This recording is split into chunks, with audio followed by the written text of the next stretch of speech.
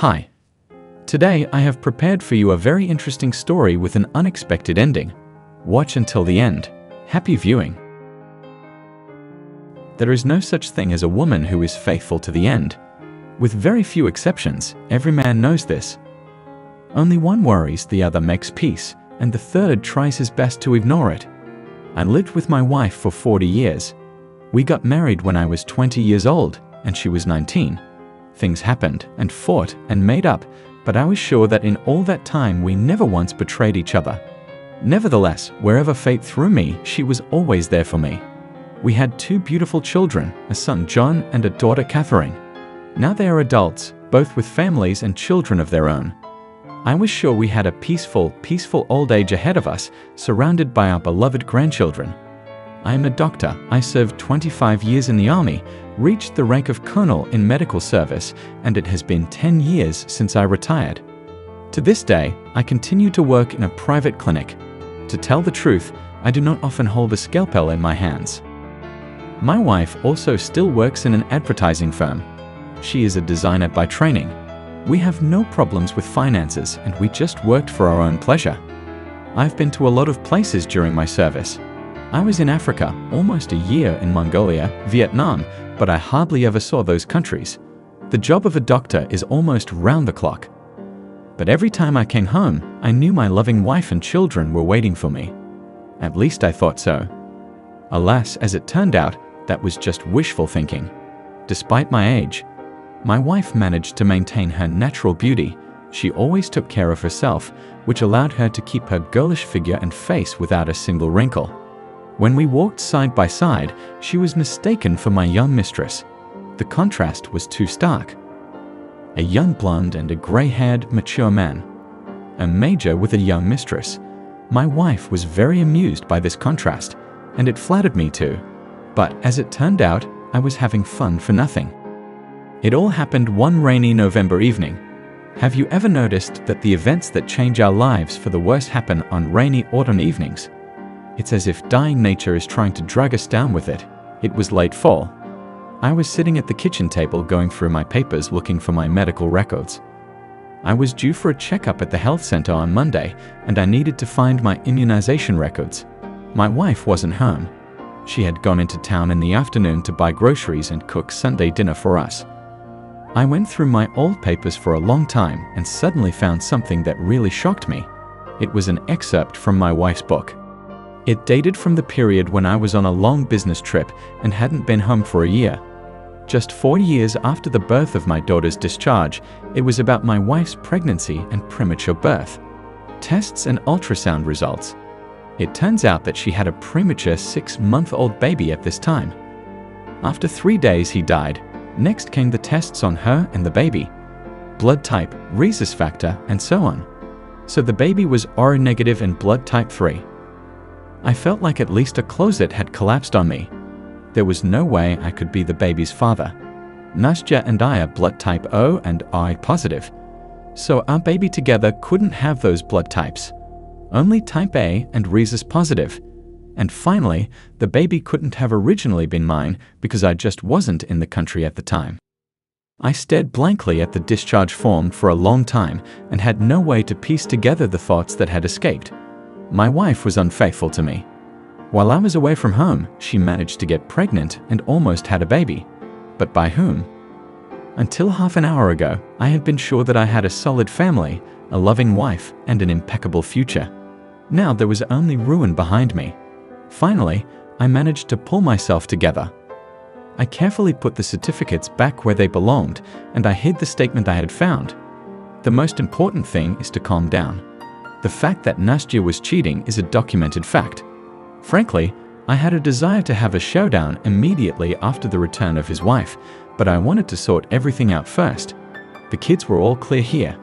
Both John and Catherine were blood type O yes, and so it was obvious that they were mine. They both looked like me young. I had no doubts. I was their father. But the thought didn't make me feel any better. I couldn't understand why she did this to me. We had married for love, and I had been courting her for almost a year. Other women did not exist for me, although I had an attractive appearance and was not deprived of the attention of the opposite sex. But for me all my life, there was only one woman. During our life together, I tried to surround my wife with care and attention. Sometimes it seemed to me that I had no other single life. My wife was everything to me and more. I went out to the balcony for a breath of fresh air. When I looked down, in the light of a dimly lit street lamp, I saw a car pull up outside our doorway. After a while, my wife jumped out of the car and a man followed her. He opened the back door and took out some packages. My wife gave him a quick peck on the cheek, took the bags, and went into the driveway. The man flopped down in the driver's seat and the car slowly drove out of the yard. The farther away, the merrier. The front door lock clicked. My wife's voice sounded unexpectedly loud, and I realized that I couldn't stand it and started to figure things out right away. She kissed me on the cheek, and I heard the fresh smell of alcohol. I tried my best to speak calmly. She looked at me with some kind of unfamiliar look. To occupy myself and calm myself, I got up and got a bottle of whiskey out of the cabinet. My wife looked at me frightened. It took a great effort to keep my composure and not turn to shouting. I poured myself a whiskey and said, Sit down, I have some questions for you. I pulled the ill fated transcript from under the table. Explain what it is. I placed the document in front of my wife. She carefully turned a few pages and quickly jerked her hand away. She looked up at me with eyes that began to fill with tears. She was silent for a while, and then suddenly she said in a surprisingly calm voice, It had to happen sometime, and maybe it's a good thing it happened now. In an even calm voice, she told me that in my absence, as she emphasized, a very long absence, she had met a young man whom she had fallen in love with. He was 11 years younger. She couldn't help herself. At first, she ran to him for a date, and then she took the kids to her mother's house, and he moved into our apartment with her. They started living like husband and wife, and from the ethereal love sessions, she got pregnant and he proposed to her. To her, a married woman, the mother of my two children, she even secretly hoped that I wouldn't come back at all and then everything would work itself out. Then we'd get married and be together, but it didn't work out. The baby was born premature and died three days later. She burst into tears at this point. My understanding was that she did not care about the remaining children. After the baby died, the relationship between them cooled, and she said they became estranged from each other. Then a young woman appeared on the horizon, and her lover finally left her in pursuit of new adventures. When I returned, she met me as if nothing had happened, and all the years that followed, she diligently played the role of loving and caring wife. I was shocked. To be honest, for a while I lost the ability to think and speak at all. I stared at the wall in silence, and not a single thought crossed my mind. I just stared blankly at one point, but that wasn't all. Six months ago, her heartfelt friend showed up in our town. Passion flared with renewed vigor. Turns out she had loved him all these years, and my wife fell into his arms. Anyway, they have been dating all this time, and she wants to start a new life in which there is no place for me. She lived with me for 40 years, gave me her best years, and now that the kids are grown, she wants a fresh start with the person she loves. Saying all this, she knew full well that with every word she said, she was just killing me. For a second, she reminded me of an executioner indifferently doing his job. For so many years, she'd been trying to trick me. If I had not found the statement, I probably would not have guessed anything further. Without saying a word, I got dressed, threw some things in my bag, and went out. Autumn was waiting for me outside. I breathed in the damp air with my chest full. I threw my bag on my shoulder and slowly wandered down the sidewalk covered with yellow leaves. I felt like smoking. I gave up smoking 20 years ago at the request of my wife. She was very concerned about my health, and it was quite late. The city was trying to forget itself in an anxious sleep. The windows of the houses were barely lit, and only the streetlights came down with a dim glow. I walked slowly past the black houses, trying not to slip on the wet fallen leaves. Man, do you have a smoke? I turned around and fell into darkness. Bright light burst into my eyes. Well, finally, a man's voice said from very close by, I turned my head with difficulty. Welcome back. My boss, not hiding his joy, looked at me. Aya. The words were hard for me to say. Yes, you're in our clinic. Tonight you were taken to the emergency room with a brain injury. We took you in and operated on you right away. The surgery was successful, and you are back with us. Your children and your wife we informed. The latest events made my heart clench again. My wife. I no longer had a wife. Two weeks later, I was discharged. My ex came to see me twice, but I refused to see her. At first, I rented a small apartment not far from the clinic where I worked and began to get used to single life. The breakup with his wife had a twofold effect on me. On the one hand, of course, the pain of betrayal, and on the other hand, some still unclear prospects. Then there was a divorce, and I was left not only without a wife, but without my home. The children took a neutral position, but it was clear that they were more on their mother's side. I began to operate again. In my work, I tried to numb the pain of my soul, and I succeeded. About two months later, an old friend called me and asked to meet. Remember a few years ago, I borrowed a large sum from you. He started the conversation. I remembered it. Three years ago, a comrade had borrowed a rather large sum of money from me. He was having serious problems with his business and asking for help. I had just sold my mother's apartment at the time and I had the money. When I gave it to my friend, I did not specify a deadline for repayment, realizing that the friend simply could not pay the money back immediately. Thanks for helping me out back then. I invested your money in the business, and as of today, it's paying good dividends. He held out a bank card to me. This is my debt with interest. It's five times the amount you lent me back then. Yes, that was very helpful. I bought myself a small cottage not far from the city and a car. I had no time to do the housework, so I hired a helper. She was almost 15 years younger than me. She was quite a young woman who had already been married. She had lived with her ex-husband for almost 20 years. They had no children due to her infertility and her husband eventually left her for someone else. A neighbor told me all this. The employee herself did not talk about it much. I had no plans with her. She was nothing more than an assistant. Almost half a year passed like that. One day I was chopping wood and I felt sick. I had a terrible headache and I fainted and woke up in the hospital. She was sitting next to my bed.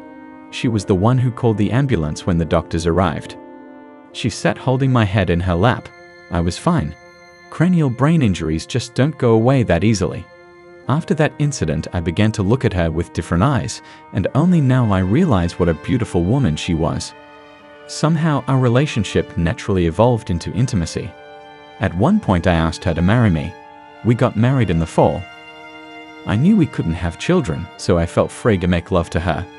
About three months after the wedding, she started feeling bad, vomiting, headaches. I immediately took her to my clinic.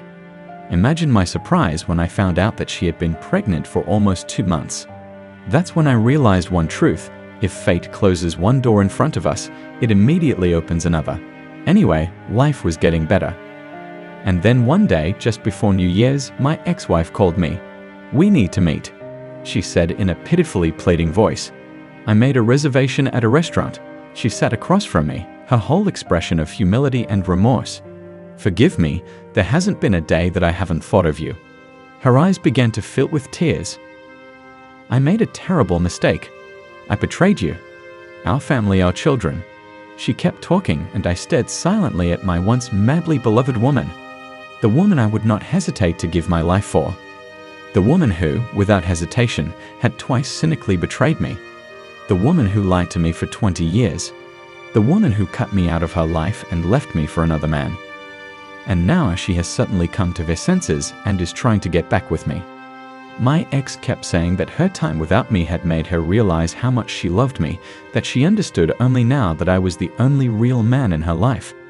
I looked at her brightly painted lipstick and the mouth that awaited my ears with such sweet words and imagined her kissing and caressing her lover with it. Did she really think I would believe her words, that she was confused, that she didn't know what she wanted? that this woman who cheated, cheated on me, had a child with her lover, left me and spent her free time with another man and never thought of me. She came back because, it turns out, she only loved me. In her own time, she found an excuse for her meanness and did not hesitate to leave me. She had had her fill of sensual pleasures with her lover, having been in his bed more than once, and she had coldly planned the moment to give me one last fatal blow and now she was here to offer me the only precious thing she had left, but had already taken advantage of her lover.